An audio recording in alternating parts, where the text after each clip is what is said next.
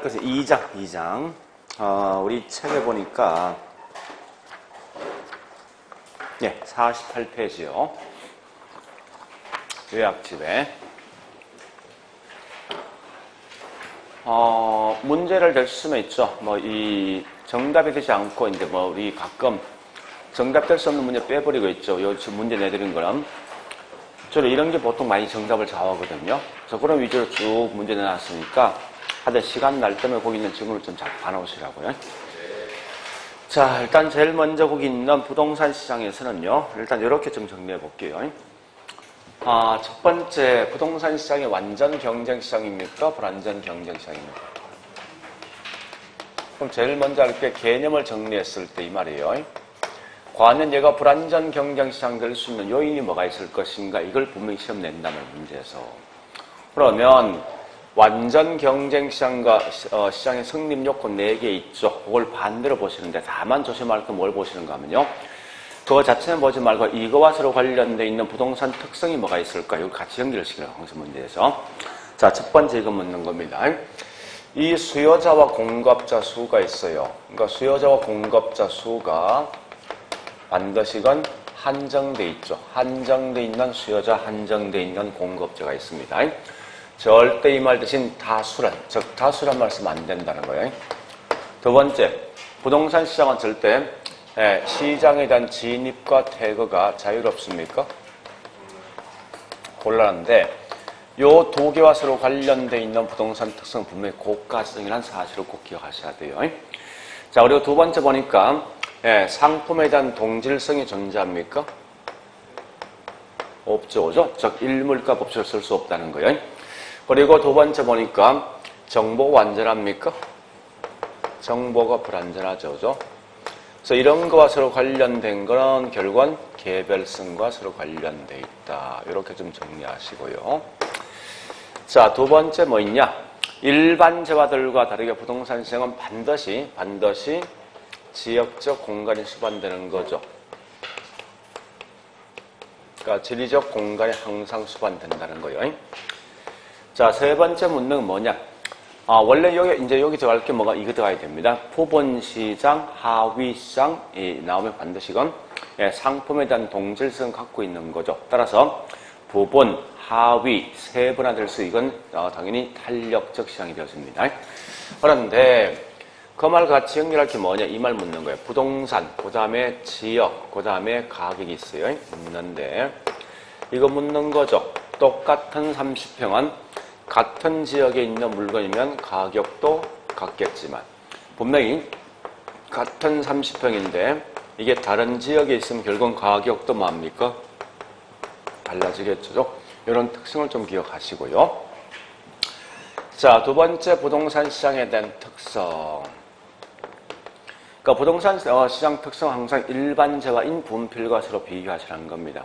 어, 그래요. 그래서 우리 한번 거기 있는 뭐 책에 보면 여러 개 어떤 특성이 있지만 그 중에 중요한 건 요 세 개 정도만 어, 정리하시면 될 것 같습니다. 그래서 절대 부동산 시장은 전국적 일률적이 아니라 지역적이면서 뭐죠? 개별적이죠. 또한 야치 수요 공급 조절이 쉽습니까? 곤란하죠, 그죠? 또한 야치 공개, 비공개. 그 다음 표준, 비표준. 비표준이고, 조직, 비조직. 이런 특성이 있는데, 이 중에 특히 비공개, 비표준, 비조직은 반드시 개별성과 서로 관련되어 있습니다. 나머지 있는 그 내용은 그냥 단지 그런 정도 있다 보시면 될 거예요. 크게 어떤 의미를 두지 말고요. 그 다음에 세 번째 보니까 부동산 시장에 대한 기능이지, 기능. 이건 암기하고 있는 거죠. 그죠? 이렇게 갖고 있다, 그죠? 그래서 첫 번째, 자, 자원 배분이죠. 같은 말이 뭐요? 공간 배분. 같은 말이 뭐 있습니까?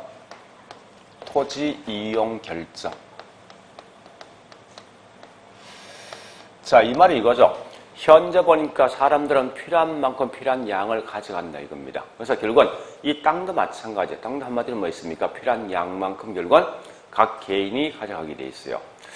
그래서 우리 아마 지난주에 간 적이 있죠. 부동산 공급이라는 것은 위치와 공간을 공급하는 거죠. 그죠? 따라서 결국은 부동산을 갖다 자원 배분한다 이 말은 결국 뭐 있습니까? 공간을 배분하는 거죠. 이 말은 같은 말이 뭐 있습니까? 어, 이런 거죠. 현적 있는 원주, 원주시 전체가 뭐 있습니까? 상업적입니까? 그건 아닐 것 같아요. 그죠? 그래서 필요한 양만과 땅의 결국은 여, 용도가 결정된다는 거예요. 요만큼은 주거, 요만큼은 상업 이렇게 용도가 결정되어지는 토지용 결정이 되어진다는 겁니다. 자, 그 다음에 돈을 주고 그 물건 가져오는 거죠. 무슨 기능이죠? 교환 기능이죠. 그 다음에 가격, 형성, 같은 말이 가격, 창조, 또 무슨 기능? 파괴 기능이 있는 거예요.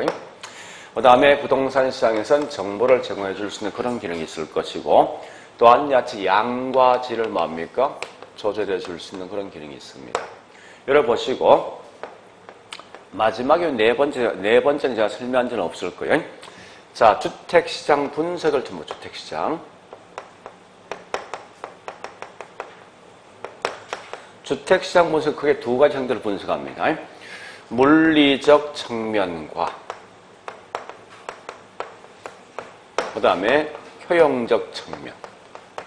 같은 말이 뭐냐? 서비스 측면.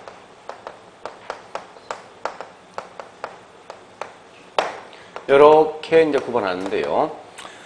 가장 중요한 핵심이 이거예요. 이때 보니까 상품이 동질적이냐, 이질적이냐, 결국은 이걸 묻는 문제가. 자, 일단 그런 걸 하기 전에 먼저 얘는 보니까 수량으로 측정할 수 있을까? 이건 시험에 나오지 않지만 봐보죠. 수량으로 측정 가능할 것인가 묻는 건데. 자, 해보자고요. 이 말입니다. 요 분필은 몇 개 현재? 두 개 주죠? 근데 30평 아파트 한 개 있네? 60평에 한개 있네? 90평에 한개 있네? 지금 몇 개죠? 세 개입니까? 여섯 개 아니고? 얘가 한 개면 얘 두 개 아니냐고. 얘 세 개 아니냐고. 자, 맞죠? 30평 한 개면 두 개 맞지 않습니까? 그러니까 이 말은 뭔가 하면 우리 항상 주택을 한 개, 두 개 세립니까? 한 채, 두 채요. 그러니까 절대 계란말 쓰지 않고 유닛이라는 단어를 쓴다고 이거는. 그러니까 이 말은 수량으로 측정할 수 없다는 거 이거는. 다만 야측에서 이럴 때 보니까 우리 물리적 측면 결국 뭐 있습니까? 수량 측정 못한 이유가 있어요. 똑같은 물건 없는 이질적인 상품이 있으니까 이건 예, 수량, 어, 수량 측정 못합니다. 그런데 만약에 여, 여기 있는 뭐 있습니까? 원, 어, 주시에 있는 90평이 90평 현재 12억 정도 한다면 강남에 있는 30평이 만약에 12억 한다죠. 12억 한다면 내가 느끼는 만족, 효용 또는 서비스를 가지고 뭐 있습니까? 화폐로 표시한 게 곧 이게 다른 부동산 가격이에요. 이때는 원주에 있는 90평과 강남에 있는 30평은 같은 물건을 취급한다면 이게 이런 게 뭐냐 다른 말로 예, 여기 있는 효용적인 측면에서 보니까 같은 물건이 있으니까 이럴 땐 동질적인 상품이 존재한다 이렇게 보는 거예요 보는, 보는 시각이 자 그런데요 어, 이때 주택시장 분석할 때 훨씬 더 용이한 방식은 물리적 측면입니까 아니면 서비스입니까 어떻게 유리한 거예요 물리는 절대 똑같은 물건 없지 않습니까? 그러니까 이질적인 물건이 있지만 이럴 때 뭐 있습니까? 얘는 분석이 훨씬 더 용이한 방식은 결국은 효용적 측면 훨씬 더 용이하다. 요것까지만 정리하시라고. 그래서 자, 요까지가 하나의 문제화가 된다 생각하시고 적어도 있죠. 시험장 갔을 때 머릿속에 들어가 있는 내용은 이 내용은 들어가 있어야 돼. 다른 건 몰라도. 하여튼 이렇게 내용을 좀 정리해 보시면 뭐 대충 어떤 문제에 대한 키워드를 좀 알고 있을 겁니다. 자, 지금부터 문제 풉니다. 자, 프린터에 있는 1번, 2번 문제부터, 어, 1, 2, 3번부터 시작하자고요. 자, 1번 갑니다.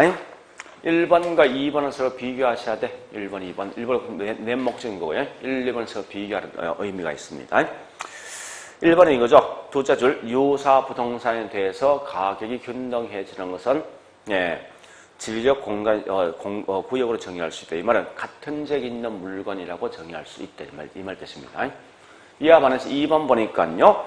예, 가격 수준 같은데 결국은 예, 다른 지역에 있으면 가격도 아, 다시 앞에 유사 부동산인데 다른 지역 저기 가격이 다른 거죠.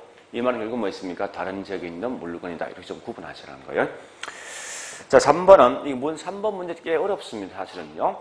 이 말이거든요. 비표준, 비공개, 비조직이라는 특성이 있지만 이 말은 부동산은 개별적인 특징이 있지만 이런 말 뜻이에요. 있지만 세분화 될수록 뭐 있습니까? 동질적인 상품이 존재하죠. 이거 오래 묻는 거예요. 자, 3번은 보니까 자, 3번은 중 아, 3번, 4번. 4번은 중요한 건 키워드 두 개 있어요. 부분 시장별 하나. 그 다음에 수, 어, 초과 수요, 초과 공급 하나, 두 개란 말이 이게. 이게 과연 앞에 있는 고가성에서 연관성이 있을 것인가 묻는 건데, 자, 물어 우리, 우리 이거 전 했습니다. 초과 수요, 초과 공급 발생된 무슨 성? 부정성이지. 그죠? 근데 앞에 뭐? 부분 시장별 이게 무슨, 어, 무슨 성? 부동성이지. 이 둘 중에 어떤 게 훨씬 더 센 말이에요? 앞쪽이지. 부분 시장별이죠. 그래서 만약 부분 시장이 없으면 이건 부정성이 되겠지만 앞에 부분 시장이 있기 때문에 이건 부동성 것으로 관련된 거. 이건 좀 조심하셔야 됩니다. 문제에서. 자, 그 다음에 5번은 이 말이죠. 부동산 시장은 전국적이 아니라 지역적 시장성이 있더라. 그래서 항상 지역을 갖다 파악해서 파악하기 위해서 뭐가 필요합니까? 공간적 범위를 설정할 필요가 있다. 이런 말 뜻이에요, 이게. 자, 문제 2번 갑니다. 2번은 핵심 이거죠? 부동성이란 단어하고 위, 위, 저, 국지와 또 반도체 지리적 공간 수반 것으로 관련돼 있나 문제 묻는 거요. 관련이 있죠, 그죠? 자, 2, 번 갑니다. 2번 보니까 진퇴가 어렵다, 또 한정돼 있는 수요자 공급 순조한다. 이건 고가성이죠. 3번은 뭐 묻는 거요? 수요 공급 조지 쉽지 않다. 곤란하다 이거죠? 4번은 묻는 게 보니까 거래에 관련된 정보가 비공개적이다. 즉 공개되어 있지 않더라 묻는 거죠. 다섯 번째. 자, 이게 좀 뜬금없는 이야기인데 중개사가 필요하더라. 무슨 성? 왜 중개사 필요합니까? 실제 부동산 특성 말고 일반적으로. 그렇지, 그지? 우리 항상 매매할 때 중개 비용 주죠. 이 중개 비용 결국 뭐에 대한 대가냐? 정보, 정보 비용이 대한 대가요. 결국은 정보가 뭐 불안전한 거죠. 공개, 정보 공개되어 있지 못한 거죠. 따라서 이거 관련된 부동산 특성은 개별성, 개별성.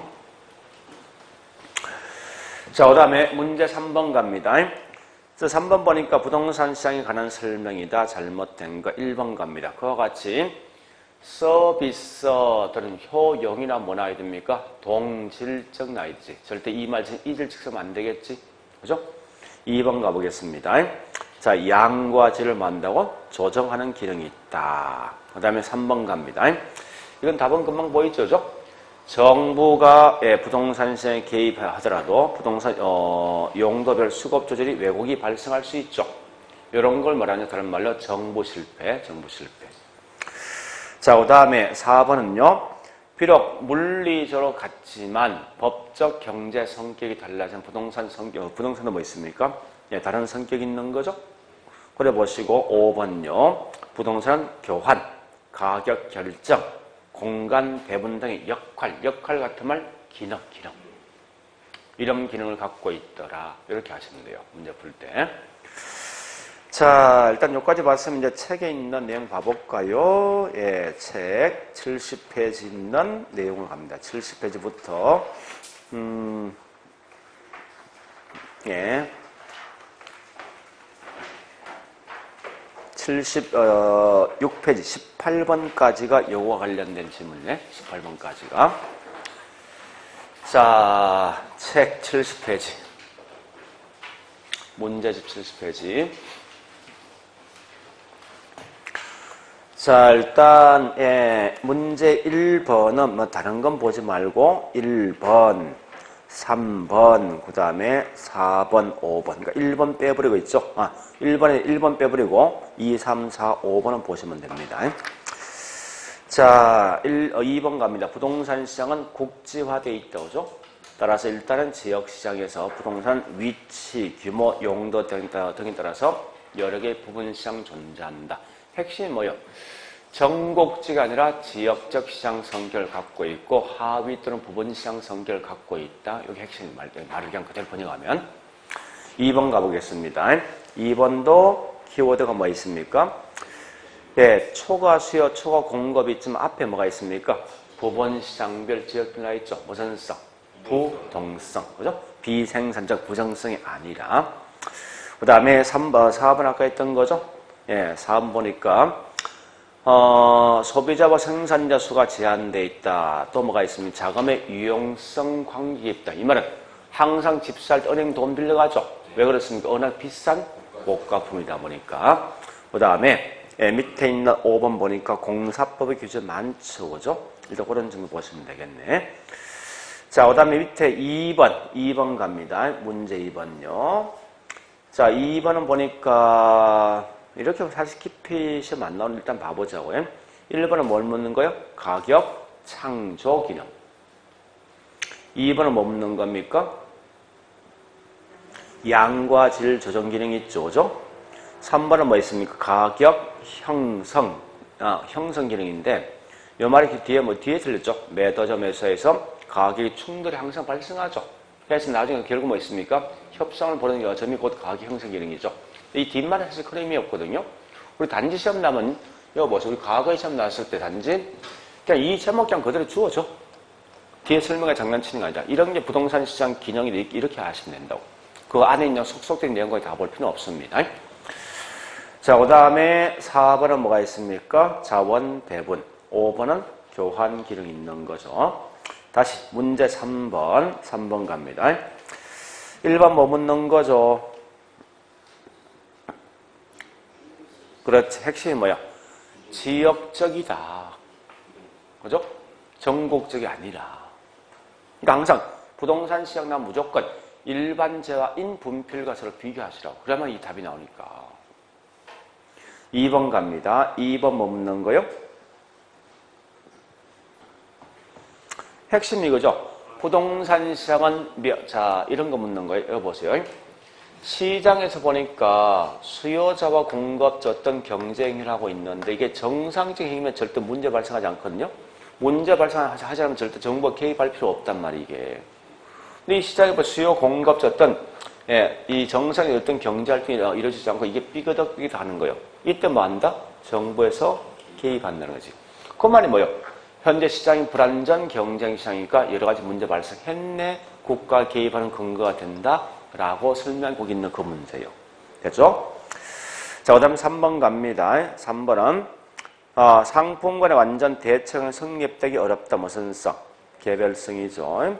그래서 예, 동시에 경제학 일반 법칙의 수요 공급 분석, 분석을 부동산이 그대로 적용할 수 어, 하기 쉽지 않더라. 자, 그 다음에 4번 갑니다. 예, 불안전하다, 아, 하다고 하더라도 할당 혈식성이 될 수 있죠. 좀달 거예요. 자, 그 다음에 5번 갑니다. 5번 보니까 비공개성 때문에 부동산 정보 획득 비용이 어, 높아진다. 거래 비용이 고가화는 부동산의 효율성을 제해주는 요인이 된다. 이 말 뜻이 뭐예요? 결국은 이거 보세요. 고가성 때문에 이와 같이 한정돼 있는 수요자, 항전, 한정된 공급자 있죠.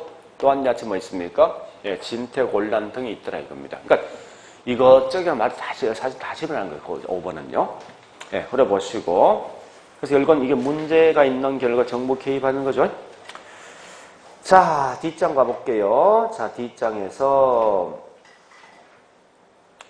예, 4번에 3번, 3번. 자, 4번에 2번부터 가볼까요? 2번 부동산 금융 정책은 부동산 시장에 많이 영향을 미치며 부동산 시장을 분석하는 이론 일반적으로 부동산 시장을 완전 경쟁 시장을 전제한 어, 후에 전개된다. 뒷말은 큰 의미 같지만 이 말입니다. 보세요. 원칙은 분명히 불안, 어, 부동산 시장 불안전 경쟁 시장이요. 그런데 때에 따라 완전 경쟁 시장 성격을 가지고 있는 경우 있어요. 그러다 보니까 가장 큰 단점 불안전 경쟁 시장을 통해 분석하면 물건 한 개면 다 다른 이론이 나올 수밖에 없다고. 그래서 이론 등이 굉장히 복잡한 결과 이걸 기본 전제상에서 완전 경쟁 시장 일 걸 전제로 분석이 훨씬 더 용이할 때가 있어. 그래서 이것 때문에 부동산 시장을 완전 경쟁 시장으로 분석하는 경우가 있을 수도 있다는 거야. 그러니까 절대 이걸 반드시 불안전 경쟁 분석한다 이 말 쓰지 말고. 자 일단 그런 개념 아시면 돼요.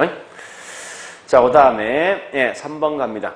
동일한 부분 시장이 존재하는 각각의 부동, 어, 부동산은 높은 대치성을 가지며 유사한 부동산 하더라도 부동산 시장, 어, 부분 시장별 다르, 어, 다르면 가격도 다르게 형성되어진다. 말 참 어렵다, 그죠? 앞에 말뜻은 뭐야? 같은 동네에 있는 부동산 뭐요? 가격도 유사하지. 그래서 대체성이 있지만 뒷말은 뭐 있습니까? 예, 시장이 달라지면 가격이 달라지는 이런 성격이 있더라. 이걸 번역하셔요, 번역할 때. 자, 그 다음에 4번 갑니다. 위치 고정성 때문에 지리적 공간이 수반된다. 그래서 서로 지리적, 지리적으로 인접한 각각의 시장이라도 상호 대여 영향을 미치지 않는다. 이거 틀린 거죠. 그러니까 인접에 있는 부동산 서로 이 대체 관계, 대체 관계가 있지만 서로 다른 적이 뭐 있으면 가격이 다른 거 아니에요? 이런 대체성이 없다라고 말하는 거죠. 그렇게 내용을 정리하시면 되겠네. 자, 그 다음 5번은 통과. 문제 5번 갑니다. 문제 5번. 네, 자연적 특성이 서로 연결된 것. 1번 비공개, 개별성. 그 다음에 2번 비표준성. 같은 말, 개별성이죠. 같은 말 뭐죠? 비동질 같은 말이죠. 세 번째 지역적 시장 뭐요? 부동성. 네 번째 비조직은 뭐요? 개별성. 그 다음 다섯 번째 수요 공급 조절 곤란성은 부정성. 됐다 그죠? 자 6번 가보겠습니다. 부동산 시장에 다른 특성이 있더라. 자 일단 1번 뭐 묻는 거요? 1번 키워드. 지역적으로 한정돼 있다. 이 말은 전국적 시장이 아니라 지역적 시장이다. 예, 묻는 거죠. 2번 가볼까요? 예, 수급 조절이 뭐 어렵죠, 그죠? 그래서 이건 문제가 좀, 어, 이렇게 장난치지 않습니다. 단기에서 가격 왜곡 발생해, 단기에서. 3번은 뭐 있습니까? 조직, 비조직. 비조직. 4번, 표준, 비표준. 예, 비표준. 어, 5번, 공개, 비공개. 결국은 5번은 좀 어, 둘러 틀린 거죠. 고정성이 아니라 개별성 때문에 거래가 비공개적. 이렇게 보시라고요. 자, 7번 문제 통과합니다. 보지 마세요. 자, 뒷장에 8번, 9번. 그리고 9번, 9번과 9번이 할 수 있는 거죠. 자, 9번 1번 가보겠습니다. 서비스란 의미는 무슨 측면? 효용. 그래서 주택은 물리적, 어, 실, 어, 실제로, 실제로 보이지 않는 서비스 제공은 효용적 주체로 보면, 예, 동질적인 상품 취급할 수 있다. 다 빼면 핵심 뭐예요? 주택은 서비스란 개념은 다른 말로 효용적인 측면인데, 효용적 측면 뭐라고요? 동질적인 상품이 있다. 이렇게 말한 거 말, 말, 말듯이. 자, 그 다음에 2번은 바로 풉니다. 우리 항상 제일 먼저 유량과 재량 판단할 때 우리 지난주에 했습니다. 앞에 연 있을 때, 현재 있을 때 그거 답 달라지는 거죠. 1년 나오면 유량, 현재 나오면 저량이죠. 오래 가시면 돼. 그래서 1년 나왔으니까 결국은 어, 예, 동안에 가정 1월 1주택량이 1,500만 채고 이거 지난 했던 것 같은데? 했죠, 그죠? 예, 넘어가죠. 자, 16번은 16번 요거 한번 정리해 볼까요? 16번 자, 일단 봐보자고요. 음, 금리가 뭐합니까? 올라갔죠, 그죠? 자, 올라갔으면 한번 봐보자고 이제 여기 보세요.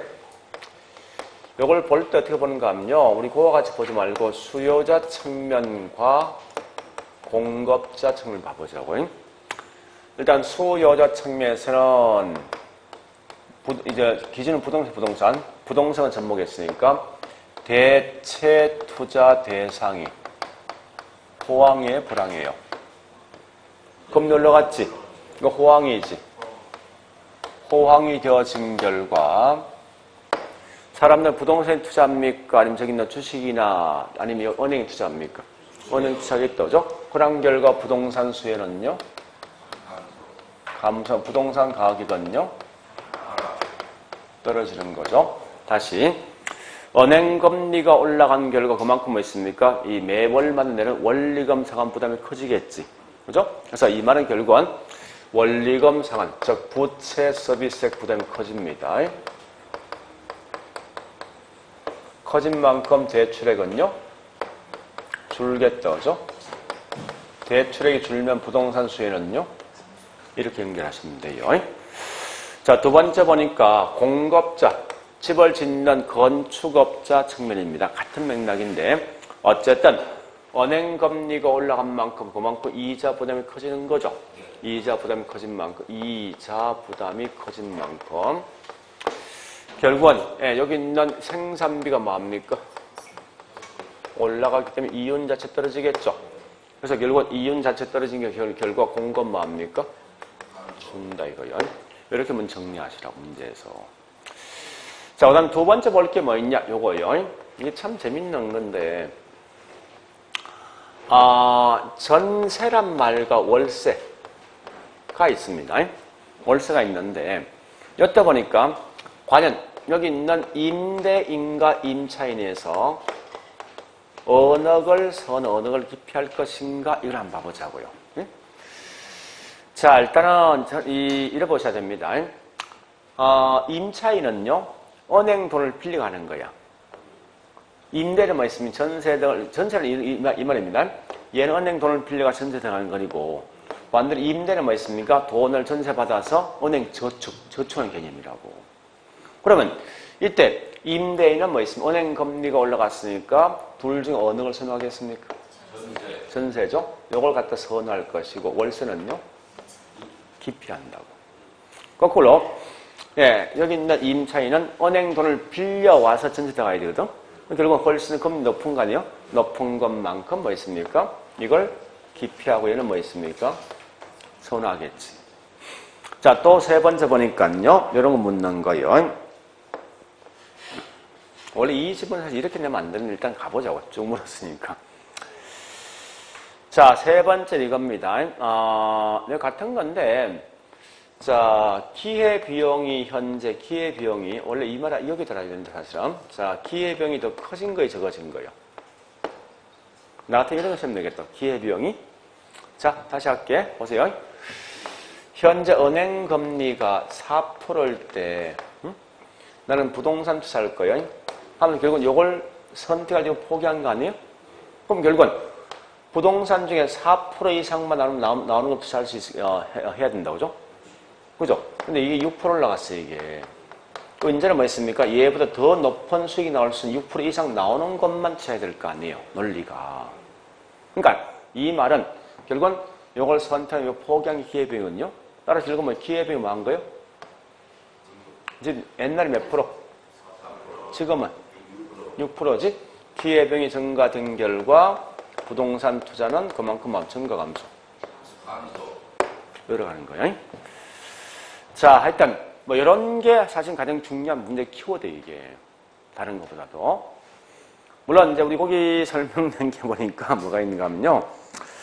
어, 일단 제가 설명드릴게요. 자, 화폐 시장 가치에서 특히 많이 묻는 게 있죠. 저당 상수하고 있죠. 감채 기금을 가지고 장난치 감채 기금. 자, 잘 보세요. 자, 저당 상수는 이거죠. 내가 현재 10억이란 돈을 빌렸어. 매년마다 얼마씩 갚을까 따져보는 거거든요. 이럴 때 은행 금리가 올라가면 매기마다 내는 금액은 더 커지겠지. 이 말은 저당 상수 값은 올라간단 말이에요, 이게. 근데 감채기금은 10년 후에 10억이란 돈을 만들기 위해서 매년마다 은행에 얼마 저축할 것인가 물었었는데 매 기마다 은행 저기 감 저기 저축하는 금액이 더 은행 금 올라간단 말이야. 더 적은 금액이 부려만들 거죠. 그래서 감채금 개수는 낮아진다. 뭐 이걸 전부 시험 다는 것 같아 보니까 문제를 딱 보니까 음? 이런 것 같아요. 어쨌든 이 내용이 이렇게 꽤 많지만요. 대충 어, 이런 게좀 의미가 있는 지문이에요. 이런 거, 이런 게. 그 다음에 요거 좀 기억하시고 많이 혼돈하는 사람들이 사실은요. 자, 일단 가보겠습니다. 일단 답은 1번, 어, 영향을, 자, 활동 미치는 영향 중 맞는 거. 어, 우리 요것이 공식이 어떻게 돼요? 요것이 공식. 무위험률 플러스 뭐요? 위험 할증이죠. 지금 속 위험 할증은 체계, 비체계. 체계적 위험만 취급하죠? 비체계 위험은 취급하지, 취급하지 않습니다. 자, 일단 은행 금리가 올라간다는 결과 뭐 있습니까? 이 중에서 이건 좀 판단을 좀 하셔야 되는데, 음, 분명히 조건이 앞에 보니까 이자율 상승이거든요. 얘는 결국은 이 금리는 어디서 포함되겠습니까? 어디에? 응? 이수익이 포함되는 거 아니에요? 저축성 금리니까. 이자를 경우 우리 통칭, 통칭에서 뭐, 이 저축 금리 아닙니까? 그러니까, 이 값이 올라간단 말이에요, 이게. 아니면 이게, 달리 볼 수도 있어요. 이게 위험 속에 포함될 수도 있어요, 이게. 판단, 어떤, 어, 어, 판단하는 것에 따라서. 은행금리 올라가면 그만큼 뭐 있습니까? 위험이 더 커질 거 아니에요. 그래 볼 수도 있고, 반대로 이게 무위험이 될 수도 있거든. 그 이렇게 시험 내면 일단 1번 답이 확실히 틀린 거예요, 이거는. 분명히 이건 비책이 아니라고. 체계지. 굳이 쓴다면. 그래서 그 밑에 있는 해설을 보면은 체계 위험이 증가한다. 이건 해설 이 자체에서 애매모호한 해설이 되어지는 거예요, 이제는. 알겠죠? 그러니까 저축성 금리니까 결국은 무위험 속에 포함될 수도 있어요. 사실은요. 자, 어쨌든 이게 뭐 체계 위험을 치자고요. 그 다음 두 번째, 2번 갑니다. 그럼 이어볼게요. 현재 이 값이 올라가면 요구 수익은요. 올라가는 거지. 네, 그래 보시고요. 세 번째, 임된 입장에서 어떤 걸 선호한다? 전세. 네 번째, 감채기금 개수는 뭐요? 작아지고 저당 상승은 커지겠다. 그죠? 다섯 번째 뭐 있습니까? 부동산 경기를 저점에 탈출하기 위해서 회복性이른다. 아니, 지금 보니 은행 올리면 돈을 많이 빌려가냐고요. 안 빌려가지. 그럼 결국 부동산 수요는 감소하지, 공급 감소하죠. 우리 저점에 오게 되죠. 그럼 반대로 뭐 있습니까? 금리가 하락하면 이 말 설명할 수 있겠다. 죠 일단 그렇게 보시면서. 지금 이거 진짜 어려운 거예요. 한참 고민되는 문제라고. 근데 좀 더 과대 해석되어 있는 것 같아 보니까. 자, 17번 통과. 그 다음에 18번 갑니다. 자, 18번은 1번 가볼게요. 1번. 부동산 시장, 현실 부동, 어, 현실 일반적인 부동산 분석에선 분석 대상을 물리적 측면 그 자체가 아니라 무슨 측면? 서비 측면이 용이하더라. 그것만 기억하시고요. 나머지 밑에 있는 2번, 3번, 4번, 5번, 네, 5번, 어, 5번까지 그대로 통과. 통과요. 우리 4번은 시장 뭐요? 세분화지. 5번 시장 뭐 있습니까? 이건 차별하죠. 그러니까 세 번은 시장을 쪼갠다 이거거든요. 그러니까 거기 4번이 뭐 있습니까? 이건 시장 세분화 경우 다른 말로 수요자 측면 공급자입니까? 시장 세분화. 우리 자 시장 세분화 이건 다른 말로 시장 쪼개주는 거예요. 그 어떤 시장입니까? 동질적인 수요자 집단을 구분시키는 거지. 불리한 구분하는 이말 뜻이군요. 이건 수요자의 어떤 특성이에요. 우리 전에 뭐 마케팅 STP 했잖아. S가 세그멘테이션 아니야. 그 다음에 이거를 보시면 돼. 그러니까 이 그런 형태니까 그런 의미 있는데 큰 의미 갖지 마세요. 그냥 넘어가시고. 자, 이제 19번부터 19, 20, 21, 22번 요거 네 개가 뭐죠? 여과 과정이죠.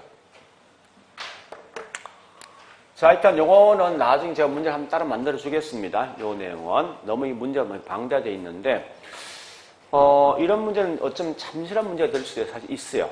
문제는 좀 깔끔하냐면, 일단 이렇게 이제 금리가 변화했을 때 이런 변화가 있다는 점을 보시고요. 자, 그 다음에 여과 과정 갑니다. 자, 여과. 이 여과 과정은 무조건 시험에 나온다 생각하세요. 여과정 다른 말 다른 말 뭐죠? 주택 순환 과정입니다. 자, 요거는 이제 일단 말로 표현합니다. 기본 전제 한번 들어보세요. 이런 것 꽤 중요하거든요. 항상 소득을 구분할 때 고급, 저 고소득 계층과 저소득 구분되어진다. 그래서 항상 고소득 계층은 고가 주택을 차지할 것이고 저소득은 저가 주택을 차지합니다. 이때 가장 중요한 말 첫 번째 말입니다. 신규 주택은 반드시 누구만 차지한다? 고가 고소득 계층이죠. 절대 저소득 계층 신규를 가져가지 못합니다. 그러면 이말 묻습니다. 첫 번째, 소득이 낮은 분은 어디에서 집을 가져갈 것인가 이게 중요하다고요. 결국은 신규 등을 가져가지 못하게 돼 있으니까 법적으로 가져가지 못하게 돼 있으니까 할 수 없이 고가 주택 중에서 시간이 경과되면 집값이 떨어지겠죠. 그 집을 가져간다 무슨 여가. 이 말이 좀 중요한 거예요. 하향 여가를 통해서 가져간다. 좀 더 이 문제 어떻게 어떻게 한번 봐보자고요. 자, 두 번째 보니까요. 여과에 대한 종류, 종류가 있죠? 있는데, 자, 그게 두 개 있지 않습니까? 무슨 여가? 상향여가와 그 다음에 하향여가죠. 자, 이거 보는 시각 분명히 세 가지 형태가 있습니다. 자, 일단 집이, 집이 있어요. 이런 집이 있는데. 자, 이 집을 가지고 맨 앞에 누가 가지고 있다 보지 말고 마지막에 누가 가져갈래 이게 중요합니다. 그래서 어쨌든 소득이 높은 분이 가져간다 무슨 여가 상량 소득이 낮은 분이 가져간다 무슨 여가 자 두 번째 이 집을 하자 보수하려 말려 묻는데 이때 가치와 수선비 중 누가 더 큰가 묻는 거예요. 그래서 가치가 더 크게 뛴다 이건 뭐예요? 집 하자 보수하죠. 거꾸로 수선비가 더 크면 어떻게 됩니까? 하자보사지 않는 거죠? 이건 하향여가. 자, 세 번째 보니까요. 자신의 소득, 소득이 중요합니다. 소득이 올라가면 이건 자신 신분이 성격되어진 결과, 결과 이건 상향인데 이때 이 말만 기억하지 말고 이 뒷말 같이 하야 돼요. 이럴 때 저가에 대한 수요가 어떨 때 됩니까? 저가 수요 감소죠. 소득이 올라간 결과 고가 수요는 올라탔단 말이에요, 이게. 다음 그럼 저가에 대한 수요는 감소합니다. 자, 일단 요 세 개 반드시 기억하셔야 돼. 제일 중요한 이거니까. 그리고 두 번째, 자, 두 번째, 아, 세 번째입니다. 우리 항상 여가 가정나 무조건 이거 주거 분리란 건 반드시 나오게 돼 있어요, 질문상에서. 자, 주거 분리 기본 전제 두 개 하셔야 되지. 첫 번째, 반드시 주거 분리란 기본 전제가 고급과 다시 주거와 상업 분리입니까? 고급과 저급 분리입니까? 고급 주거지와 그다음에 저급 주거지 분리입니다. 그다음에 이게 주로 발생될 수 있는 지역은 인근 지역에서 발생합니까? 아니면 도시 전체에서 발생합니까? 어디에서? 둘 다, 둘 다, 둘 다. 그러면 항상 여과가 중요하면 무조건 멀리 하시는 거 이말 하시라고. 요 그림을 딱 그려서 무조건. 여가 자체, 장 자체 나면 무조건 이 그림 먹게 돼 있으니까. 또 우리 거의 다 대부분 장난 여기 가장 많이 장난치게 돼 있어요. 현재 이게 여가 과정은 주거 분리는 고급과 저급이 분리되어 있다. 그런데 경계적에 인접해 있는 고급 주거전 집값이 뭐한다? 떨어질 것이고 자 경계적인 인접해 있는 저가 주택은 집가가 올라가죠. 이럴 때 보니까 이 지역은 하자 보수하지 않는 결과 집값 서서히 떨어지면 얘가 이렇게 넘어가겠다죠. 넘어간다 이게 무슨 여가? 항상 뭐든지 중요한 건 마지막에 누가 가져갈 게 중요하다고.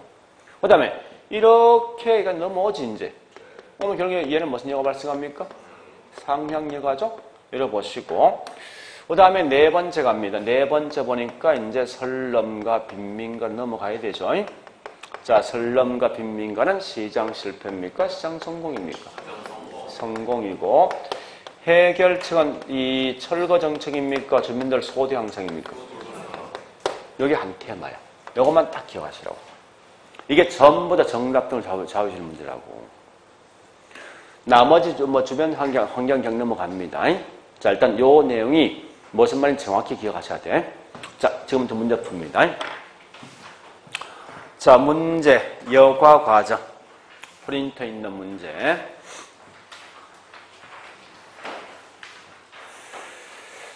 자, 맨 밑에 있죠. 자, 어, 우측 하, 어, 하단에. 거기 있는 1번의 1번과 뒷장에 있는 어, 2번의 5번 두, 두개 비교하셔. 1번의 1번과 뒷장에 있는 2번, 5번 비교하셔요. 그래서 그렇게 장난치는 걸 아시라고. 그죠? 그러니까 주거 분리는 반드시 예, 고급 주거적 저급 분리지 5번처럼 주거와 상업이란 말씀 안 된다는 거예요. 자, 다시 1번에 2번 갑니다. 2번 이말꽤 중요하거든요. 잠시 볼래요? 자, 여보세요? 만약에 해보세요. 자, 여기 빈집이 없어, 빈집이. 없으면 얘가 이 넘어갈 수 있냐고. 없는 거지. 아, 빈집이 있어야 얘가 넘어갈 거 아니에요. 그러니까, 결국은 공가, 빈집은 여가 그 과정에서 굉장히 중요한 역할을 해준다는 거예요. 2번이 그 말이야. 그다음 3번 갑니다. 3번 보니까, 저, 자, 3번은 항상 이런 질문 나면 저스톱, 고스톱 보지 말라고. 중요한 건 수선비와 가치가 중요한 거야. 누가 더 커요, 3번? 가치 더 커지. 무슨 여가? 상량. 오케이. 그다음 4번 갑니다. 고수덕청 주거지역과 인접에 있는 저수덕청 주택. 요거 묻는 거지. 고급에 인접에 요거 묻는 거 아닙니까? 집값이 뭐 한다? 올라간다. 그죠? 할정된다. 자, 5번. 마지막에 누가 이 물건 가져갑니까? 누가 누가? 저수덕이지. 무슨 여가? 하향여가. 오케이. 자, 넘어갑니다. 자, 문제 2번 갑니다. 자, 2번에 1번 이런 질문 꽤 많이 나온다고, 이 문제를. 그러니까 제가 항상 답이 될 수 있는 건쭉 1번, 어, 이 문제씩 집어넣었거든요. 그러니까 이렇게 문제 사실 다, 어, 모든 게 답이 되게, 되게 만들지 않습니다. 자, 읽어봤습니까? 여기 보세요, 이제. 보세요. 넘어가지. 무슨 여가? 하향이 계속 발생해 있는 고가는 대생할 데가 없잖아. 없으니 이거 할 수, 이렇게 넘어가서 뭡니까? 재개발, 신규 주택 짓는 거지. 그 말이 1번이라고. 자, 그 다음에 2번요. 자, 원래 제가 저 실제 우리 원서에는 고가주택, 저가주택 용어 안 써. 정확한 말은 일정순 이상의 주택, 일정순 이하 주택 쓴다고 쓸 때. 그래서 이렇게 지문 등은 반드시 이건 뭐 있어? 일정순 이하 쓰면 이건 저가 주택 이래 생각, 생각할 때. 그런 걸 자꾸 익숙해져 있어야 돼요. 그러면 우리 대한 기본 전제 이 말 아닙니까? 항상 신규는 누구만 찾아간다고? 그러니까 1번이 그 말이야. 일정순 이하 주택은 공급이 제한한 법적 규제. 이 말은 전제 조건이 뭐 있으면 일정순 이하 저가 주택은 예, 신규를 만들지 못하는 기본 전제를 둔다는 거야. 그러면은 이말 묻는 거죠. 그러면 저가는 저수도계층은 어디서 주택을 가져오는 거예요? 요거 요거 요거 묻는 거 아닙니까? 지금 문제가. 신규는 반드시 고가 주택을 가져오는 이번 일정순 이상 주택만 신규를 만든다는 말 뜻이. 일정 수 이하 주택은 절대 신규를 못, 못 만들게 있어요, 법적으로. 그러면 얘들은 어디에 주택을 공급받을래 묻는 문제, 그 문제가. 고가 중에 시간이 경과되면 집값 떨어지지. 그 집을 가져오는 거잖아. 이게 무슨 여가요? 그, 그 말이 묻는, 묻는 문제로 이게. 그래서 그거 저, 저 내용은 좀 아셔야 됩니다. 자, 그 다음에 3번 갑니다. 3번 보니까 어느 놈 가져갔습니까? 상위 계층이지. 그러니까 항상 중요한 건 가져갈래 이게 중요하니까. 상위 계층이지. 무슨 여가? 상량이고. 그 다음에, 자, 이 4번은 별거 아닌데 한번 읽어보시고요. 보세요. 자, 이거 묻는 거요. 공급이 있죠? 가격이 있어요. 이때 보니까 D1, D2가 있어요. 이렇게. D2가 있는데, 이 수용수입니다. 가격이 훨씬 더 비싼 건 D1입니까? D2입니까? 이건 누가 고가야? 얘 고가지. 고가 주택, 주택에 해서 좌측에 있는 게 누구예요? 저수도 계층이지. 이 그림 이거 묻는 거야, 문제가. 응? 큰 의미 갖지 말라고? 왜 아무 의미 없으니까. 그래서 좌측이, 좌측에 위치합니다. 자, 그 다음에 5번 갑니다. 5번 틀린 거죠? 자, 문제 3번 가볼게. 3번에 1번. 3번에 1번은 잘 좀 정리를 하셔야 돼요. 아, 3번에 2번부터 먼저, 2번부터. 제가 먼저 할게. 주거 분류를 통해 주택 순환 과정을 갖다가 뭐 있습니까? 네, 설명할 수 있는 거죠. 자, 여보세요. 이 말 묻는 거요. 보세요. 이게 고, 고급과 저급이 있지. 30년, 30년 전에 있는 상황이라고. 그 지금 좀이 지역은 노후화되어 있겠지. 그 얘가 넘어가서 뭡니까? 저급, 저급, 저급 주택 되겠지. 이 지역 뭐 재개발 되겠지. 그럼 결국은 30년 경과 되면 이 지역이 저급, 얘가 고급이야. 또 30년 경과 되면 반대로 바뀌겠지. 이렇게 항상 고급과 저급이 주택에 대한 순환 과정을 거친다. 그런데 자 1번 가 1번 1번 갑니다. 1번 그 말 꽤 중요한 거예요. 이 말이에요. 자 다시 보죠. 원칙은 고급이 저급을 변경되는 게 일반적인데 때에 따라 고급이 계속 고급을 존재할 수 있다. 예외적으로. 즉 강남이 40년 전도 고급인데 지금도 고급이거든요. 왜 얘가 항상 고급은 남아있냐? 묻거든. 반드시 묻거든. 요거 가지고 설명해야 돼. 요거 가지고. 응? 수선비보다 가치가 더 크다는 거야. 뭐 계속 하자 보수 한다는 거예요. 근데 그런 개념 좀 정리하시라고 문제에서. 자, 그 다음요. 예, 3번 갑니다. 소득이 증가되고 저가에 대한 수요가 감소 무슨 여가? 상향이죠. 자, 4번 가볼까요? 예, 불량주택은 뭐라고? 시장 성공이고 해결책이 뭐 있죠? 소득 증가지. 자, 5번 가볼까요? 5번 더 중요한 건 고소득층 주거지기 중요한 게 아니라 계량비 나오죠? 그 말 따라가야 돼. 계량병이 가치 상승 뭐 크지? 하자보사 합니까? 안 하죠. 무슨 여가요? 하향여가. 그래 보시면 되겠네. 자, 문제. 책에 있는 문제 갑니다, 이제. 77페이지 갑니다.